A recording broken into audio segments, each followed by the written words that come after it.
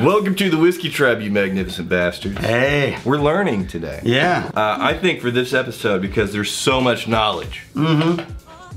I need to put on my thinking cap. All the knowledge. My thinking cap. You're gonna put on your thinking cap. And it's a thinking cap to fulfill. It can't just be any thinking cap though. No, no, no. It's a very special thinking. It's not your SAT the hat. tribe voted on this thinking cap. Our oh. patron, Oh. our patron members. It's a whiskey thinking this cap. is one of many to come. Okay. So let's go put on my thinking cap and we'll circle back. I'm definitely gonna need this bottle. Here's the thing. We do have access to a private salon, but why would we use it? Yeah, because then you end up with things like, spin me, Daniel. Shit's gonna get real. Son of a bitch. Oh.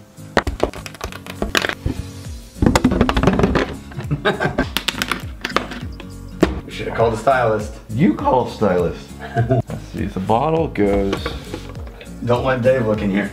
It's gonna be weird. Uh, son of a. There you go. You got some? Uh. That's all you got. Hey, Dave. What's going on? Oh, hey, this is awkward. I just got this one mullety chunk. Yeah, make it a rat tail. Yeah. Remember those? Oh, I had I had one. Yeah, but we just gotta we gotta wrap this around your neck. Chin strap time. Come on, here we go. This needs to be. Oh, like what? There you go. Nailed it. Let's look at the version on Pinterest. Nailed it. There's a good Get good this video over with.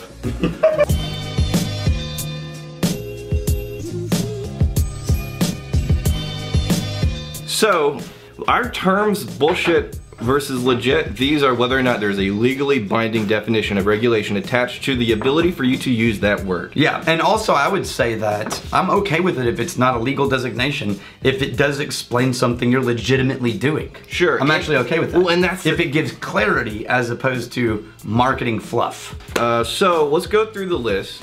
Let's Okay. start with a bottle, Sure. and then I'll ask, and then we'll it will go through these as we go. So, hey, look, here's Jim Beam, black premium extra aged Oh, bourbon. Premium. Premium. There's two back-to-back ones that just make it so. Basically, it's just like, hey, this is a little older than the generic. So, Jim- for Beam. example, premium extra aged bourbon, premium bullshit or legit, bullshit, extra aged bullshit or legit, bullshit. bourbon. Legal. Okay, hey, so- at least 51% corn, aged in new oak. It has some regulations attached to that word, and you can't use that word Now, unless They are calling it Kentucky Straight Bourbon, like they call other bourbons, which is at least four because it has no age statement on it. How about this? Well- the Glenrothes Vintage Reserve Speyside Single Malt Scotch Whiskey. Okay, so vintage, bullshit or, or legit. Bullshit. A reserve. Bullshit. Bullshit. uh, that said Speyside single malt Scotch whiskey. Yeah, legal. So every Well, single one of those. Yeah, they're all designated. Well, Speyside- Speyside's not officially legal, but it's a designation, and you're not going to put Speyside if you're not from Speyside. Okay. So yeah, it's effectively Single malt. Real. Mm-hmm. And that was another one. Single malt was in there. That is uh, And single malt is, I've heard people say, well, single malt's bullshit because it's just a quality. It's, no, no, no, no, no. Single malt is a legal designation Right. of one distillery's product made with only barley. That is absolutely legit. Now, there are people who take that to mean it's better. That's bullshit. Right. But the term is absolutely legitimate. Um, let's go to Ireland. How about boutique selection? boutique. I'm gonna go out on a limb here.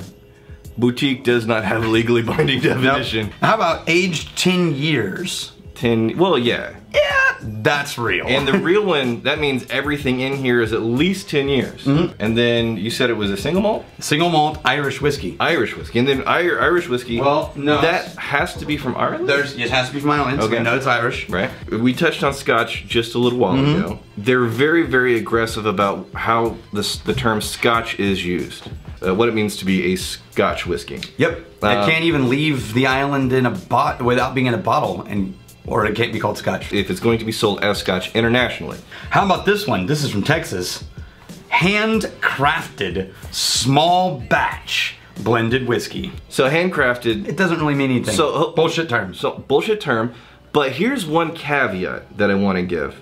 This is a bullshit term, rule of thumb, broad strokes. Right. There may actually be some states that get aggressive about how you use some of these terms. Like, for example, I think It's currently up for grabs. I think um, in Washington, for example, they may actually have some parameters for what it means When you to put handcrafted. the term handcrafted. They don't in Texas. No, they don't. out. And then the vast majority, Just talk about Tito's, and you'll see what I'm talking about. Yeah. Uh, small batch. This is both small batch and handcrafted. Small batch, you see Small this batch. everywhere. Not a real thing. What is- for Buffalo Trace to be like? We only used forty thousand barrels in this run. Okay, so for example, Jefferson's, which is huge. Jefferson's Kentucky Straight Bourbon Whiskey, very small batch. Their very small batch, I promise you, is more whiskey than we're gonna make in the next 20 years. Yeah, that's very, very possible. Like uh, we were talking about in the group, Bowmore, their small batch. Yeah. it's their basic bulk line. And that's not a small whiskey distillery. How about double wood, Oh, that's just saucy. which could be double, triple. This could also be triple malt, double malt. Everybody getting a pile. Are they putting twice the amount of wood in there? Uh, well, they're maturing in two separate casks and then blending together, if Okay. my memory serves me. Um, but then there are other people like Laphroaig where But that's very common. they're taking one spirit and moving it from barrel to barrel to barrel. That's a very common thing. Yeah, It is very common. You can throw around double woods and triple woods. Other people call it finishing. So they could have easily have said this was finished in blah blah blah. Right. But actually I think what they're doing because they're using two separate barrels and pulling them together, Sure. it's not really a finishing. So They're trying to communicate something. they're trying to communicate something. It's not a legal term. Yeah, it's hard to take you seriously right now. It really is. Here's the thing though. Uh, and it, it is a fairly serious point. It would be easy to go down the aisle at a liquor store and pull out 70, 80% of the bottles and find one of these words and think, ah, they're bullshitters. They're trying to lie to me. It's like, eh, not necessarily. At least Our- try to give them the benefit of the the point we're making is these words that you see so often in whiskey, if used correctly, are describing something in the process that they want to communicate to you in the shortest, fewest words possible. Yep. Which is called marketing. But uh, because there's no regulation attached to those words, any whiskey company can attach any word for any reason for for no reason whatsoever, and it can be total bullshit. Yes. So these are the words And that that sort are, of ruins it for everyone. It was like the whole sourcing problem, where it's not really a problem except that some people were pretending they weren't sourcing. yeah. Well, before Oh, you, I'm gonna make it feel a little bit better. before you get, you needed to show us your boobs now. Yeah. Uh, before you get to- the dark rye, um, I want to ask about one of the uh, more recent darlings in whiskeydom, Japanese whiskey. Oh yeah. So we sort of discovered that uh, Japanese regulations allow, Wildly, wildly popular right now. yeah, allow Japanese producers to source whiskey from anywhere in the world. Yep. Bring it into Japan and bottle it and release it as Japanese whiskey. So there's a lot of Japanese whiskey, which uh, is Scotch. I know there's a lot of Scottish whiskey that's being brought in. And it's usually ones, I, I'm not saying it's this one, but it's usually ones that don't say single malt, it'll just be a name. That's For example, no one knows if this is actually made in Japan. right. Except for the people in Japan who are making it. The Basil Hayden Dark Rye is a weird one for me. Okay. Um, I think it's misleading because they release a rye. Okay. And so, because side by side you can see a rye and then a dark rye, you think that what you're getting is a rye and then maybe an extra charred oak rye or something like that, Or right? aged super long or something. Yeah, but really what they did was took Canadian rye whiskey and blended it with port. Now, to be fair, do they say this on the back? I mean, it's right on the front, but still, But the name you say. the name is super misleading. I don't know. I'm on the fence because they're not hiding it on the back. Look at the two, side by side. Yeah. Dark Rye and dark rye. Yeah. You could see how I'd be like, well, until you get to there, and you're like, oh, okay, I see what you did." Just a touch of port unveils an entirely new taste discovery. Yeah, no kidding. Fair enough. Does distillers select mean that the distiller is doing oh, very Oh yeah. So sometimes, like for example, in the Laphroaig editions, like lore that are no age statement stuff, it's because someone actually picked this flavor out of the warehouse and created it. Yeah. But distillers select as an industry term means nothing. Okay. In theory, it's supposed to mean that like with this one, Yeah. this one we were really serious about carefully picking. Yeah. Instead of letting machines pick it. Yeah, this But really- the distiller made all of this, and they said yes. Now sell have all of selected this. it. It has been selected. the vast majority of these words have no legally binding definition. Let's talk about real ones. Yes, what are the handfuls? I'm assuming there's a small handful. What is a small handful So- that actually means something? Any term referencing a grain is probably going to be a legal term. Rye, bourbon, malt, single malt, blended malt, pot still, Yeah. right? Yeah. All legally, right? Anything that has to do with the country, legally regulated. Canadian whiskey, Irish whiskey, sort some, of Japanese some countries more regulated than others. Yeah. Yeah. Um, anything that has to do with proofing, cask strength, that's it doesn't relate to a specific number cask strength. Right. If it's cask strength, it doesn't have to be above a certain proof. Yeah. But there's sort of a general understanding if it's cask strength, it's probably going to be in the 60s range, so 50s and 60s. So that's a general understanding. It's a general understanding, even though it's not industry regulated. Okay. We did find out that for one of our releases, uh, we can't call it single barrel release. Why? Because we're going to finish that in single malt barrels. Oh, so now, single barrel can't be finished. but here's the re- well, no, no, that's not true. So here's the reality. According to the federal regulations, we could take one barrel of Wyoming, right. Finish it in something else, and then bottle it, Right. and still call it a single barrel. The uh, COLA totally approved that label. Now, in the consumer side, I think that's incredibly misleading. Right. Because it wasn't just taking a barrel and putting it in a bottle. Yeah. So even though COLA appro- approved this the single barrel cask strength, Yeah. I already removed single barrel from the label because I felt bad about it. Sure. And so now it's just a cask strength release that we're going to be doing. But that's a real thing. There's often things that the feds will allow you to do that are totally misleading. Now, chill filtering, non-chill filtering, that's real. That's real. Um, in some countries, you're required to put whether you add food coloring. The E and it, like in America, 150A, you can't call it bourbon if it has food coloring in it. Okay. And Uh, Scotland doesn't police that. Germany really does. Bottled and bond. Bottled and bond is the strictest whiskey regulation in North America. Okay. It means meets the designation of the bourbon, right? New oak.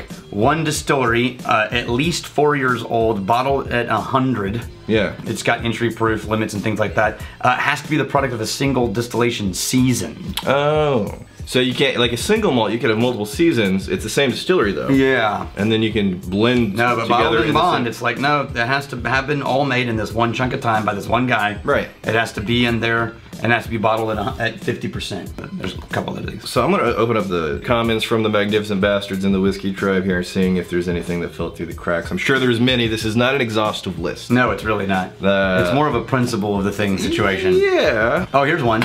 Tennessee whiskey didn't used to be a legal designation, but now it is. So Tennessee whiskey, from what I understand, it's damn near bourbon, isn't it? Well, no, it is. I'm gonna start a fight in the video. so here's the thing. Tennessee whiskey wasn't a legal designation, but it definitely described a process of charcoal filtering mm-hmm. a whiskey. Now, the mash bill that gets charcoal filtered technically qualifies as a bourbon Okay. because it's at least 51% corn. Sure. But the filtering process is unique to a couple of Tennessee distilleries, uh, where it was, and so they called it Tennessee whiskey. Okay. And uh, fairly recently, that became a state level legal designation. Seems like it's a really restrictive state level legal designation. It is. Okay, so So a lot of distilleries were not happy about it. yeah, we're we're in conversations uh, with some people talking about Texas whiskey. Yeah, what gets defined as Texas whiskey? And a lot of these legally binding definitions, Mm-hmm. there's pretty giant loopholes. One of the ongoing jokes we have in the tribe is a bourbon that we're going to make called technically bourbon. Yeah, because there's no time designation for how long something has to be in a barrel to be called bourbon. It just has to be aged in new oak. Right. But it doesn't say for how long. Right, so we could leave it in there for like a day, Or hour, 15 minutes. or 15 minutes. Take it out, and it's basically what clear. It's just moonshine. It's a, it's a clear spirit. All right. So at the end of the day, whenever you guys are choosing uh, the bottles that you want to take home, just understand that there's only a handful of legally binding definitions. All the other stuff. If the distiller's cool, then they're using those words to help explain part of the process. If, if they're bullshit, then uh, yeah, they just did it to make it sound like a fancier bottle. Yep. But the biggest thing we try and champion in our community is that it really doesn't matter what's on the label. The most important thing is whether or not you like what's in the bottle. And that's enough. Yeah, the best whiskey is what? The whiskey that you like to drink. However you like to drink it. Here's what I want to do. As, because we just made such a wonderful, valid point. No. Bringing knowledge and maturity to this industry. Um, the whiskey that was in this bottle, Oh yeah, yeah. the Sir Edward Smoky. sir, the top shelf. I'm gonna make you a very special Your glass. backlit here. You're making me a very special glass. You ready? Yeah. Oh yeah. Yeah, that's in there. Nice. nice. I hope you washed your hair. Wait, am I actually gonna drink this? Is that the thing? No. Yeah. Why does it always end up with me consuming some shitty You're product? complaining about this episode. Oh. Oh. Use shampoo or some kind of conditioner. you can totally smell it in there. Get in there, Daniel.